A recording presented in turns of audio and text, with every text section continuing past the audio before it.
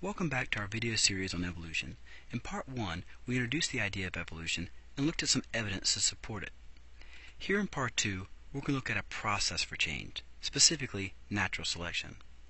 But before we do that, we need to do a little bit more history lesson, aka the evolution of evolution. Some of the early influences on evolutionary thought came from geology. In the 1790s, James Hutton espoused the theory of gradualism, the idea that the earth we see today was shaped by slow moving processes that continue today and have been at work for extremely long periods of time. Take, for instance, the ideas about continental drift. This was controversial because it required the ideas of creation proposed uh, in biblical texts to be reconsidered. At least the time frames need to be looked at with some skepticism, as the geological processes that form sh- shape formations such as the Grand Canyon uh, suggest a much longer history. In the 1830s, Charles Lyell, who became a close and influential friend of Charles Darwin, published The Principles of Geology, a multi-volume text that was considered to be the most complete and definitive literature on the topic at this time. The main thing we get from this study of geology is this idea of a slow, gradual change. And it apply, as it applies to the um, shaping of the, the physical features on Earth, that same concept could maybe be applied to the changes that we see in living things. While Darwin was influenced by his studies on geology, he was also influenced by the work of Thomas Malthus.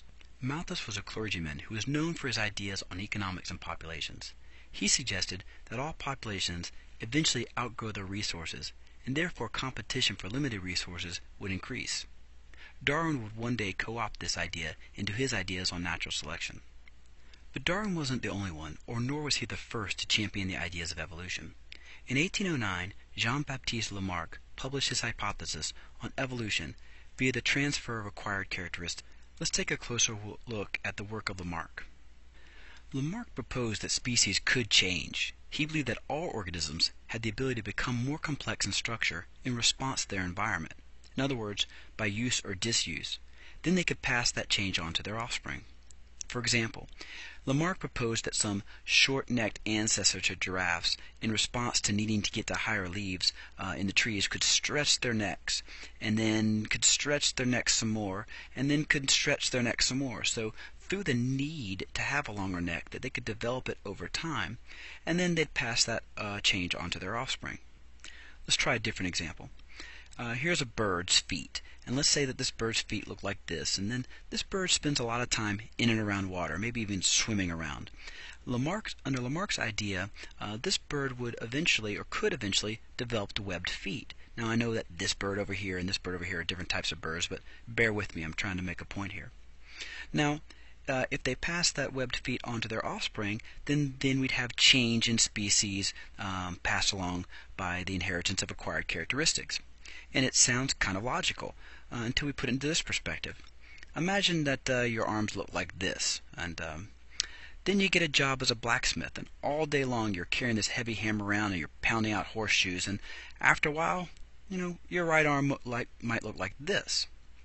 Well, you've acquired that characteristic through use or disuse. Could you pass it on to your offspring? Oh, come on. That's pretty creepy. Uh, of course that couldn't happen. So Lamarck was on the right trail, meaning organisms do change and the environment does play a role, but his mechanism was wrong. We don't just get what we need. We'll see how this works a little bit later, uh, but this brings us to Darwin. Now, Charles Darwin is one of the most influential people in all of biology. He was the son of a wealthy physician, and his father hoped that he would follow him into the in the medical field, but he was more interested in, in nature and his other studies. In 1831 Darwin set sail on the H.M.S. Beagle, employed as the ship's naturalist. What started out to be a two-year trip to map the coast of South America ended up lasting five years, and all along the way Darwin would, was documenting all the natural life he saw, gathering specimens, drawing pictures, and making observations, and he was particularly taken by some of the observations he made in the Galapagos Islands, off the west coast of uh, South America. And here he found some uh, diverse species that didn't seem to exist anywhere else in the world, that seemed very isolated and uniquely uh, suited for this uh, very uh, diverse environment. So he drew pictures and collected specimens and kept very detailed records, and this uh, the amount of information he collected during this trip lasted him years. He spent years and years kind of poring over his observations and his um, his drawings and writings, uh, and these ideas helped him develop the ideas of natural selection as a mechanism for evolution. What's interesting was he didn't publish these ideas for a very long period of time. He was busy working on lots of other things. He was also very hesitant to publish his ideas for fear of how it might be received by both the scientific community and the religious community. Let's talk about some of the observations that Darwin made and some of the things that he knew. So, along the way, Charles Darwin noted there's there's a lot of stuff out here. When you grow up in a small part of the world and then you start to travel across the world, you realize that there's a lot more out there than you thought. And this biodiversity intrigued him. And also, the distribution of species wasn't random species were distributed in areas where they seemed to really suit and fit their environment. Second, uh, another observation he made was that within populations there are variations. Not everyone in the in the population uh, is the same, and these variations were uh, pretty important. And then the observation that more individuals are born than survive. Now let's take those observations into account with what Darwin also knew. Darwin had studied geology, he understood these ideas about gradual change that Hutton and Lyell proposed. He also had studied, um, whoops, jumped in, Lamarck's work, the idea that species could change to suit their environment. So the environment connected with change was something he already kind of was thinking about. But importantly, Darwin also understood artificial selection. You know that populations could change only when selected individuals are allowed to produce, reproduce um, agriculture, um, farmers have been able to change the look of their herds and their stock uh, by selecting only certain individuals to breed. You could get big, strong uh, cattle by letting your biggest, strongest bull mate with your biggest, strongest cattle. Um, these are ideas that people understood that they could change the look of a population by selecting who breeds and who doesn't. And finally, Darwin knew about Malthus's essay on populations that limited resources leads to competition.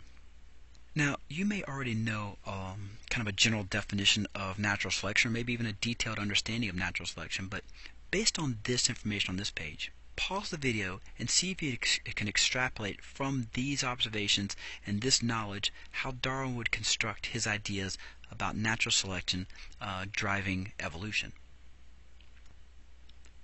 Now, like I said, Darwin sat on these ideas for a really long period of time.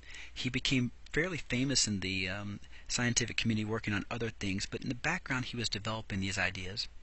And in 1844, he did uh, write a, a short essay called Descent with Modification, and based on four tenets.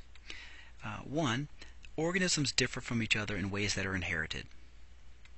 Two, more are born than can survive, meaning there's a struggle for existence. There is competition. So not everyone's the same, and we have to struggle to survive.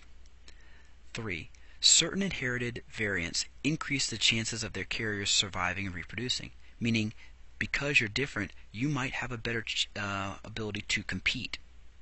And finally, selection leads to the accumulation of favored variants, which over long periods of time produce new life forms, the origin of species, meaning that as certain variations uh, survive and reproduce in greater quantities, those variations become um, more prevalent in the populations, causing populations to change over time. We can kind of condense and summarize natural selection. When organisms and populations have to compete, and there are variations within the population, then the natural conditions will favor some variations over others. Individuals with these variations will survive and reproduce in greater numbers. Over successive generations, the population will change to look more and more like that variation. Darwin described animals as having fitness, or species as having fitness, not just animals, of course, but the relative ability to survive and reproduce. So you are fit if you have variations that'll help you survive and reproduce so that you could pass those traits along.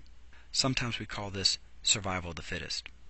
Now again, Darwin wasn't real excited about getting this idea out there. He was very hesitant to kind of bring a lot of attention to it. But then something interesting happened. In 1858, a young and up and coming naturalist named Alfred Wallace, who respected Darwin greatly, uh, developed an idea and sent his thesis to Darwin for feedback. And when Darwin read it, wow, was he surprised because Alfred Wallace on his own had come up with natural selection. Well, this was problematic for Darwin because now, if he published, it would look like he's stealing the work of this young guy. But if he didn't publish, then Alfred Wallace is going to kind of beat him to the punch after Darwin has sat on this idea for, you know, nearly 20 years. So in the end, they co-authored a paper to present the process of evolution through natural selection, and then a short while after, Darwin finally publishes his very famous book on the origin of species by means of natural selection. The book was met with much fanfare and also, of course, some controversy at the time. But to really get our head around natural selection, we kind of need to look at a few examples. For example, if we were to think about how Darwin would explain giraffes versus how Lamarck would explain it, it wouldn't be that a giraffe developed a long neck over time. It would be that there was some giraffe-like animal whose neck was, you know, maybe here, and uh, there was competition for limited leaves, and because of that, if you happen to by chance have a longer variation of neck, then you could get to more food, then therefore you survived, and therefore you reproduced. In the next generation, those with slightly the longer necks survived in greater numbers, and over successive generations, we've exaggerated the trait to this extremely long neck. We could say the same thing for the evolution of the speed in a cheetah. That each generation, if only the fastest cheetah are able to catch food, then they survive in greater numbers and pass on those fast genes, and over time the species gets faster and faster. But it's this over this uh, repeated selection over many generations that shapes the look of a species. Now, I'm going to end this video here. Um, we're going to have a part two of this section on natural selection because we have to put natural selection into action. So check back uh, for part two, part two, part two, part B of part two, I should say, um, where we're going to put natural selection into action and look at our modes of selection. So come back for part two, and I hope you learned something.